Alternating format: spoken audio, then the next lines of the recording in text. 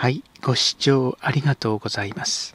これよりお届けいたします作品は、武田いつも、三好正楽、並木川柳合作、金手本忠臣蔵です。この作品、金手本忠臣蔵は、寛延元年、1748年8月より11月まで、大阪竹本座で初演されました。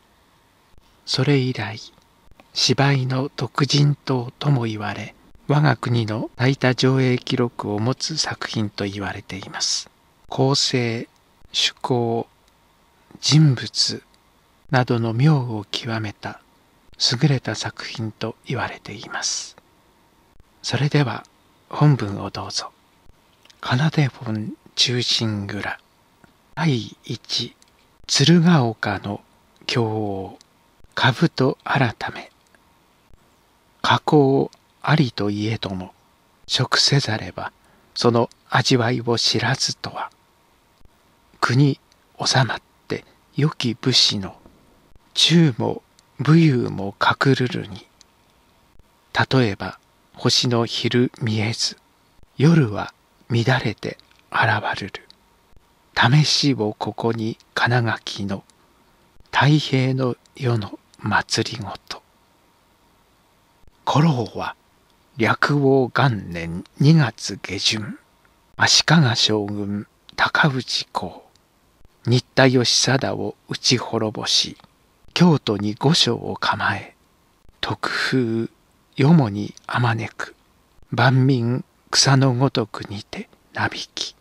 従う御異性国に歯をのす鶴岡八幡宮。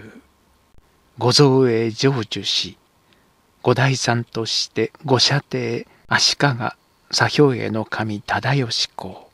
鎌倉に下着なりければ在鎌倉の執事河野武蔵の神諸能御膝元に人を見下ろす憲兵眼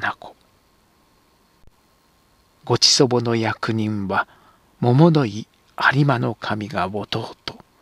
若狭之助安親。白州部の城主円谷半岸高貞。馬場先に幕打ち回し。意義を正して相紡る。忠義仰せいださるるはいかに諸のこの唐筆に入れ置きしは兄高氏に滅ぼされし新田義貞後醍醐の天皇より賜って着せし兜。敵ながらも義貞は清和源氏の着流傷手の兜と言いながらそのままにも打ち置かれず当社の三倉に収める情。その心得あるべしとの賢明なり。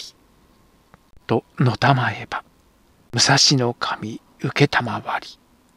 これは思いもよらざる恩こと。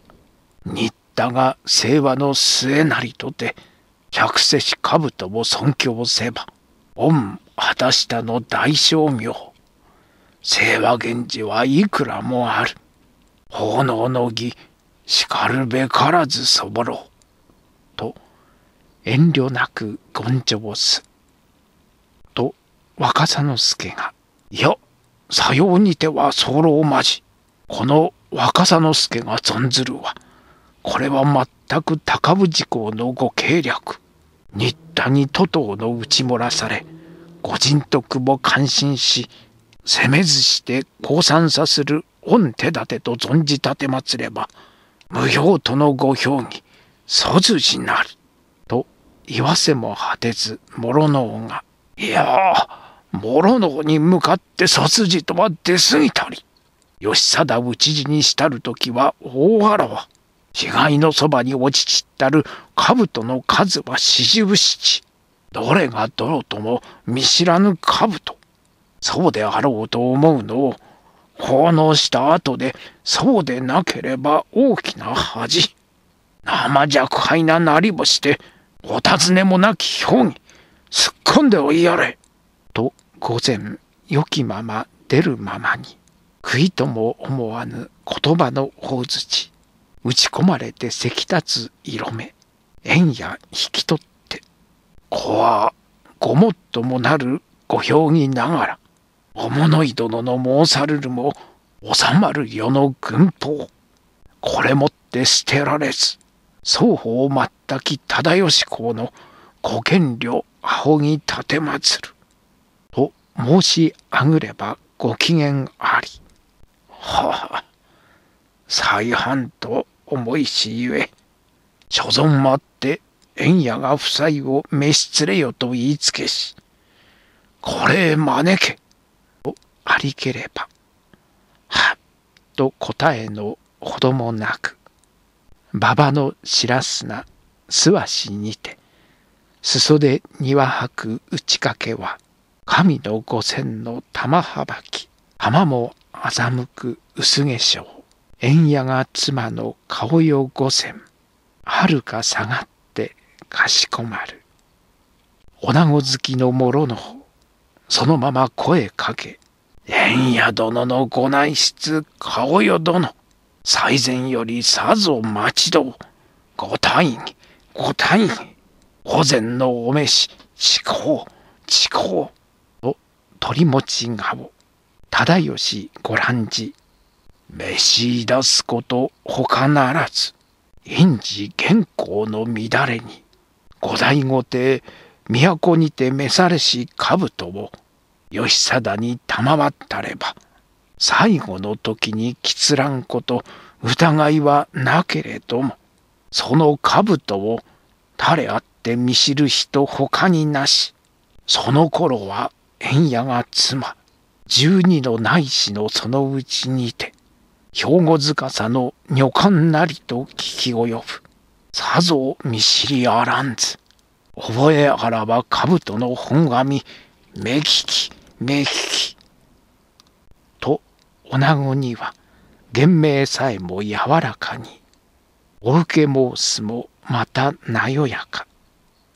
明賀に余る君の仰せそれこそは私が明け暮れ手なれし五着の兜義貞殿配慮をにて蘭茶体という名香を添えて賜る。御取り次ぎはすなわち顔よ。その時の直答には人は一代名は松代巣は討ち死にせん時この蘭茶体を思うまま内兜に抱きしめきるならば瓶の紙に顔を止めて名香を香る首取り師というものあらば義貞が最後とおぼしめされよとの言葉はよもや違うまじと申し上げたる口元に下心ある諸のは小花いからし聞き至る。忠義詳しく聞こしめし。おおつまびらかなる顔よが返答。さあらんと思いしゆえ落ちちったる兜四十七この唐筆に入れ置いたり見分けさせよとご女ボイの下侍。かがむる腰のエビ状をあくるまおそしと取り出すもおめず臆せず立ち寄ってみればところも何しおう鎌倉山の星兜凸灰頭獅子頭さて指物は家々の流儀流儀によるぞかし。あるいは直平筋兜。しころの亡きは弓のため。その主主の好みとて数々大きその中にも五枚兜の辰頭。これぞと言わぬそのうちにパッと香りし名工は顔よがなれし。義貞の兜にてござ候と差し出せばさようならめと一決し縁や桃の井両人は宝蔵に収むべしこなたへ来たれ。と忠義公は伊佐母たち青代においとま賜りて段桂を過ぎたまえば縁や桃の井両人も打ち連れてこそ入りに蹴る。後に顔代は次ほなく、諸の王様は今しばしご苦労ながらお役目をおしまいあってお静かにお人間の出たこの顔よ長いは恐れおさらばと立ち上がる袖にすり寄って諸のはじっと控えこれまあお待ち待ちたまえ今日の御用しまい次第床本へ推算してお目にかけるものがある。栽培の良いところ召し出された。忠義公は我がための結ぶの神。ご存知のごとく我ら角部に心を寄せ、吉田の健康を師範と頼み、日々の上通、そこもとへ届けくれよと問い合わせのこの書状、いかにもとのお返事は工場でも苦しゅうない。と刃元から田元へいるる結び文。顔に似合わぬ天参る武蔵あぶみと書いたるを。顔よは見るよりはっと思えどもはしたのを恥じしめてはかえって夫の名の出ること落ち返って夫に見しょうか。いやいや、それでは縁宿の憎しと思う心から、絵が過ちにもなろうかと、物をも言わず投げ返す。諸の方は、人に見せじと手に取り上げ、脅さえ手に触れたりと思うにぞ。我が踏みながら捨ても置かれず、工藤は言わぬ。良い返事聞くまでは、くどいてくどいてくどき抜く。天下を立ちょうとも、不祥とも、思いのままなもろの、縁やをいかおうと殺そうとも、顔世の心たった一つ。なんとそうではあるまいか。と、聞くに顔世が返答も、涙ぐみたるばかりなり。折から来やます若田之助例の非道と見て取る起点顔よ殿まだ退出なされぬかおいとまいでて暇どるはかえって神への恐れ早お帰りとおたつればきやさてはけどりしと弱みを食わぬ河の者のいやまたしても言われぬですぎ。立ってよければ身が立たず、この度のお役目、守備を務めさせてくれよと、縁屋が内緒を顔よの頼み、そうなくてはかなわぬはず。大名でさえあの通り、小心者に捨て賃用、誰が陰で取らする。諸の王が口一つで、ごき作業も知れぬ危ない寝台。これでも武士と思うじゃまで。と、邪魔の偏方憎手口、はっとせき立つ若さの助。刀の恋口砕くるほど、握り爪は冷たれども、親善なり、御前なりと、一旦の堪忍も、今一言が生き死にの言葉の先手、勘よぞと、岬を払う声声に、若狭之助は千方なくも語を伸ばす。無念は胸に忘られず、悪事盛って運強く、切られぬ甲の諸のを、明日の我が身の敵とも知らぬ縁屋が後抑え、忠義公は悠々と保御成田もを御異性人の兜の辰頭オクラにいるる数々も四十七時のいろは分けかなの兜を和らげて兜頭巾のほころびぬ国の掟ぞ久方の。これにて幕となります。